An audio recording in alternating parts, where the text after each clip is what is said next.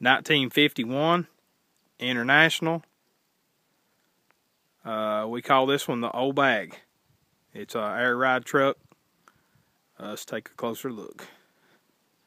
All the lights, the turn signals, uh, everything works. It does not have windshield wipers. We put uh, Rain-X on the glass. It does have all new glass. This is all brand new glass. This is a new seal here. Um, the windshield alone was 400. So, um, time we got a new seal and put it in, $500 worth of glass just in the front. And the sides have new glass too. Uh, new mirror here on the side. New uh, wheels. The tires are about 80%. Gas cap comes down there. Really solid truck, Kansas truck. You can see the bottom of the doors really solid. No rust on this truck. It has been, uh, uh, you know, the metal's been broken a place or two and we've welded it back together, but a really solid truck. We just screwed the license plate on the front, rat rod style. It's a old plate.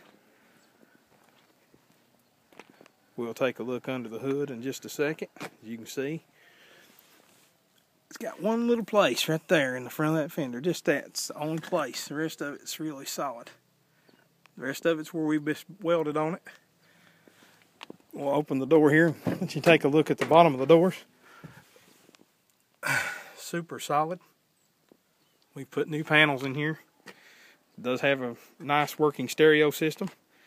Um, it's a JVC stereo head unit. It's we can vacuum it here and clean it on up, but we got the it's got carpet in it. It's got the Dakota seats in it. There's the air ride control. This folds up. You can ride three people in here. Um, new headliner from Classic Industries. Um, that's your Dakota gauges over there. Uh, it does have air conditioning on it. Heat uh, blows uh, good and hot. Um, it just runs out and drives like a, an every, everyday normal truck. The windows go up and down good. Uh, the doors shut good. There's no alignment issues there. We decided to leave the old style tail lights. We did take and uh, take all the inside, the guts out of it, and put new new wiring harness in there. And it's got uh, new wiring going to the tail lights.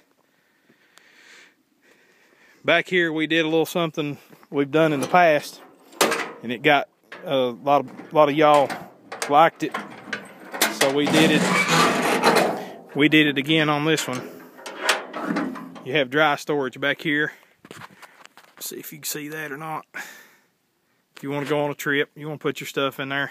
You got dry storage back there underneath the bed. Reason the bed is up so high because all the air ride system is under there. but you have room to put anything in the bed if you want to. There's the factory Dodge Dakota gas neck where it, it would be on the Dodge Dakota. We've took the old neck and made it just like uh, just like the old truck. Put a few uh, put a few miles on this truck. It runs and drives good. Same thing here, door panel. Like I said, new headliner. We'll start it up. Let you hear it run. All the gauges work. Good oil pressure. Charge is good, runs cool.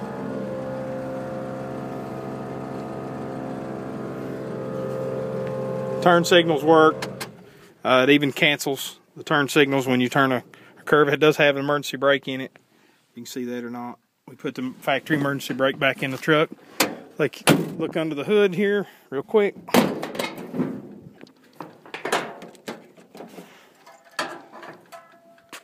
Two point five Jeep. It's the same thing they put in the Jeep. This is setting on a 2000 Dodge Dakota chassis. Uh, power brakes, power steering, everything that you'd want. The fan kicks off and on just like it's supposed to. Um, this truck you could drive and have a lot of fun with, not have to worry about uh, breaking down or anything like that.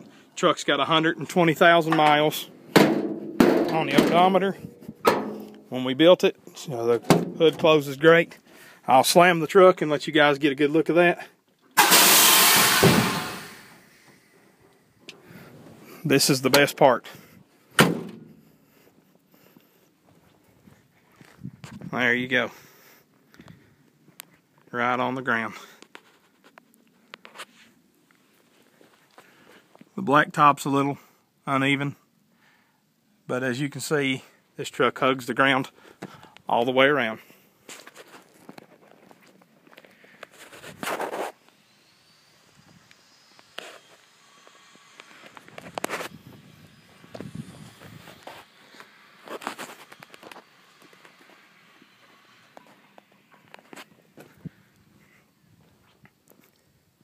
Thanks for watching my video.